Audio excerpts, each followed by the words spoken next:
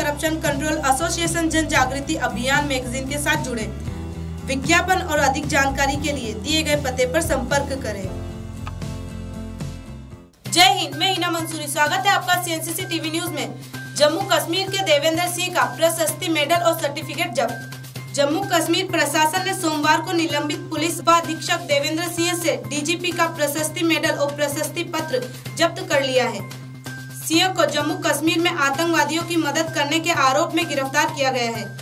इससे पाँच दिन पहले निलंबित अधिकारी से शेर कश्मीर पुलिस मेडल भी ले लिया गया था।